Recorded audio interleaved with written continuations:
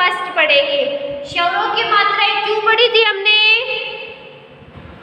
किस कारण पढ़ी थी? क्यों पढ़ी थी? सौरों की मात्राएँ इसलिए पढ़ी थी जिससे क्या हो? हमें बुक रीड करने की प्रैक्टिस हो, बुक को रीड करने की प्रैक्टिस हो। तो आज हम क्या पढ़ेंगे? हिंदी व्याकरण का चैप्टर फ़र्स्ट पढ़ेंगे। क्या पढ़ेंगे? हिंदी व्याकरण का चैप्टर फ़र्स्ट पढ़ेंगे। जिसका क्या नेम है? क्या नेम है जिसका? जिसका नेम है हमारी भाषा। जिसका नेम है हमारी भाषा। अब आपको सबसे पहले ये जानना है कि भाषा कहते किसको है। क्या जानना है? भाषा कहते किसको है? भाषा क्या होती है? भाषा क्या होती है तो क्या होती है भाषा क्या होती है भाषा किसे कहते हैं किसको कहते हैं भाषा जब हम अपनी बात जब हम अपनी बात दूसरों को समझाते हैं जब हम अपनी बात दूसरों को समझाते हैं तथा दूसरों की बात हम खुद समझते हैं जब हम अपनी बात दूसरों को समझाते हैं, जब हम अपनी बात किसको समझाते हैं? जब हम अपनी बात अगले को समझाते हैं, जो अगला व्यक्ति हमारे सामने होता है, उसको जब हम अपनी बात समझाते हैं, क्या करते हैं अपनी बात को? समझाते हैं। जब हम अपनी बात को अगले व्यक्ति को समझाते हैं, और अगले व्यक्ति की बात हम खुद समझते हैं, अगले व्यक्ति की बात हम स्वयं हैं खुद समझते हैं किसके द्वारा समझते हैं किसके द्वारा समझते हैं भाषा के द्वारा समझते हैं। किसके द्वारा समझते हैं? भाषा के द्वारा समझते हैं। जब अगले की बात हम समझते हैं और अपनी बात हम अगले को समझाते हैं। किसके द्वारा? किसके द्वारा? भाषा के द्वारा। किसके द्वारा? भाषा के द्वारा। हमारी भाषा। तो अब हम क्या पढ़ेंगे? चैप्टर फ़र्स्ट पढ़ेंगे। हमारी भाषा, जिसके द्वारा हम अपनी बात दूसरों को समझाते हैं तथा दूसरों की बात हमें स्वे समझते हैं। भाषा, हमारी भाषा। बच्चों, पहले चित्र में पहले चित्र ये जो चित्र दिया हुआ है चित्र में नेताजी नेताजी क्या कर रहे हैं इसमें नेताजी इसमें भाषण दे रहे हैं। क्या कर रहे हैं नेताजी इसमें? भाषण दे रहे हैं। क्या कर रहे हैं? भाषण दे रहे हैं। बच्चों, पहले चित्र में नेताजी मुख से बोलकर भाषण कैसे देते हैं? भाषण बोलकर देते हैं तो नेताजी अपनी बात कैसे समझा रहे हैं दूसरों को बोलकर समझा रहे हैं कैसे समझा रहे हैं बोलकर समझा रहे हैं नेताजी मुख से बोलकर अपनी बात जनता तक पहुँचा रहे हैं। किस तक पहुँचा रहे हैं? जनता तक कैसे पहुँचा रहे हैं? बोलकर पहुँचा रहे हैं। बच्चों, अब पहले चित्र में नेताजी मुख से बोलकर अपनी बात जनता तक पहुँचा रहे हैं। और जनता उनकी बात को, और जनता उनकी बात को सुनकर समझ रही है। और जो जनता है, वो नेताजी की बात कैसे समझ रही है? वो नेताजी की बात को सुनकर समझ रही है। नेताजी अपनी बात कैसे समझा रहे हैं? नेताजी अपनी बात को बोलकर समझा रहे हैं। बोलकर समझा रहे हैं। और जनता उसको कैसे समझ रही है? सुनकर समझ रही है। कैसे समझ रही है? सुनकर समझ रही है। नेताजी अपनी बात बोलकर जनता को समझा रहे तथा जनता उनकी बात को सुनकर समझ रही है। दूसरे चित्र में दादाजी पत्थर लिखकर, दूसरे चित्र में दादाजी पत्थर लिखकर अपने मन की बात बता रहे हैं। दूसरे चित्र में, दूसरे चित्र में क्या हो रहा है? इस चित्र में क्या हो रहा है? जो ये दादाजी बैठे हैं, वो क्या कर रहे हैं अपनी बात को? पत्थर पे लिखकर बता रहे हैं। कैसे बता रहे हैं?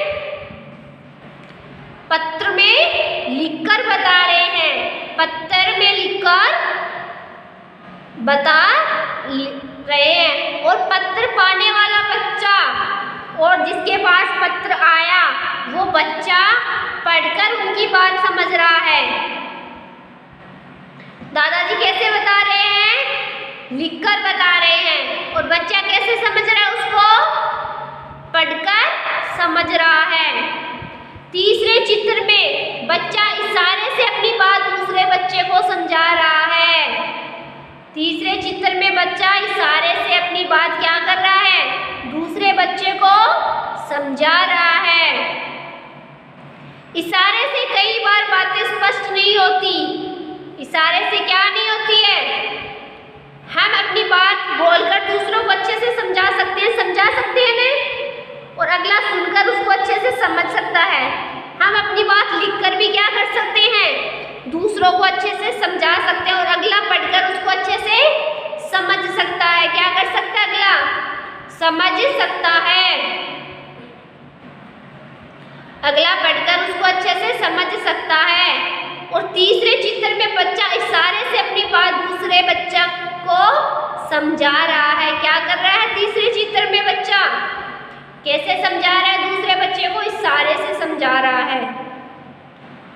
इशारे से कई बार बातें स्पष्ट नहीं होती है।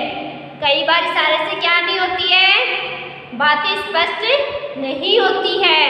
कई बार इशारे से बातें स्पष्ट नहीं होती है। इसलिए यह भाषा का मान्य रूप नहीं है। इसलिए ये क्या नहीं है? इशारे द्वारा समझाया गया ये भाषा का क्या नहीं है? मान्य रूप नहीं है। क्यों नहीं है? क्योंकि इसके द्वारा स्पष्ट रूप से नहीं समझाया जा सकता है। स्पष्ट रूप से क्या नहीं किया जा सकता? समझाया नहीं जा सकता। भाषा के द्वारा हम दूसरों को बोलकर अपनी बात समझाते हैं। किसके द्वारा समझाते हैं? भाषा के द्वारा। भाषा के द्वारा हम दूसरों को बोलकर अपनी बात समझाते हैं और सुनकर दूसरों की बात समझते हैं। और दूसरों की बात कैसे समझते हैं सुनकर सुनकर दूसरों की बात समझते हैं केवल मनुष्य ही बोलने और लिखने के लिए भाषा का प्रयोग करता है भाषा का प्रयोग बोलने और लिखने के लिए कौन करता है मनुष्य करता है मनुष्य ही ऐसा प्राणी है जो भाषा का प्रयोग बोलने और लिखने के में करता है भाषा ही मनुष्य को अन्य प्राणियों से बनाती है। भाषा ही क्या करती है? भाषा ही एक ऐसा माध्यम है जो मनुष्य को श्रेष्ठ प्राणियों से क्या बनाती, अन्य प्राणियों से क्या बनाती है? अन्य प्राणियों से श्रेष्ठ बनाती है। क्या बनाती है? श्रेष्ठ बनाती है। भाषा ही मनुष्य को अन्य प्राणियों से श्रेष्ठ श्रेष्ठ बनाती है। कौन बनाती है? भाषा। इस प्रकार एक दूसरे को। इस प्रकार एक दूसरे को अपनी बातों तथा भावों को समझाने, समझने, समझाने के साधन के रूप में भाषा का प्रयोग होता है। इस प्रकार एक दूसरे को अपनी बातों तथा भावों को समझने तथा समझाने के साधन के रूप में भाषा का क्या होता है? प्रयोग होता है। क्या होता है भाषा का? प्रयोग होता है। भाषा का प्रयोग होता है। मनुष्य के भाव और विचारों के आदान प्रदान के साधन को ही क्या कहते हैं? भाषा कहते हैं। मनुष्य के भाव और विचारों के, मनुष्य के भाव और विचारों के आदान प्रदान के साधन को ही हम क्या कहते हैं? भाषा कहते हैं। मनुष्य के मनुष्य के भावों और विचारों के आदान प्रदान के साधन को ही हमें भाषा कहते हैं। भाषा की डेफिनेशन क्या होती है? मनुष्य के भावों और विचारों के आदान प्रदान के साधन को क्या कहेंगे? जिसके द्वारा क्या होते हैं? मनुष्य के जो विचार है, मनुष्य के जो विचार है, उसका क्या होता है? उसका आदान प्रदान होता है। उसका क्या होता है? उसका आदान प्रदान होता है। किसके द्वारा होता है? किसके द्वारा होता है? भाषा के द्वारा होता है। मनुष्य के भाव और विचारों का आदान प्रदान किसके द्वारा होता है? किसके द्वारा होता है? भाषा के द्वारा होता है। किसके द्वारा होता है? भाषा के द्वारा होता है। मनुष्य के भाव और विचारों के आदान प्रदान के साधन को हम क्या कहते हैं? भाषा कहते हैं। क्या कहते हैं? भाषा कहते हैं, मनुष्य के भाव और विचारों के आदान प्रदान के साधन को ही हमें भाषा कहते हैं। क्या कहेंगे? भाषा। मनुष्य के भावों और विचारों के आदान प्रदान के साधन को यहाँ हमें भाषा कहते हैं। ओके? ओके बच्चों तो भाषा के द्वारा मनुष्य क्या करता है? क्या करता है? अपने विचार अपने विचार, अपने भाव, अपने विचार, अपने भाव एक दूसरे को क्या करते हैं? एक दूसरे को समझाते हैं। एक दूसरे को समझाते हैं। जैसे ये जो नेताजी है, जो ये नेताजी है, जो क्या कर रहे हैं? भाषण देकर भाषण देकर अपने विचार प्रकट कर रहे हैं। भाषण देकर क्या कर रहे हैं? अपने विचार प्रकट कर रहे हैं और किसको समझा रहे हैं? और जनता को समझा रहे हैं। किसको समझा रहे हैं? जनता को समझा रहे हैं जो ये नेताजी है, ये क्या कर रहा है? भाषण देकर अपनी बात जनता को क्या कर रहा है? जनता को समझा रहा है। अपनी बात भाषण के द्वारा जनता को समझा रहा है।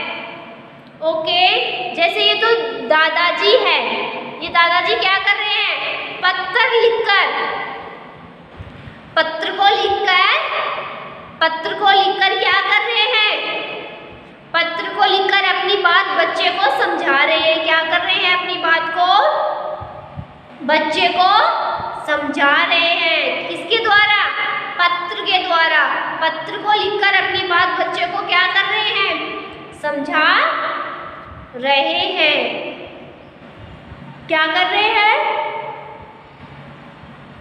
समझा रहे हैं। नेताजी भाषण के द्वारा और दादाजी पत्र के द्वारा क्या कर रहे हैं?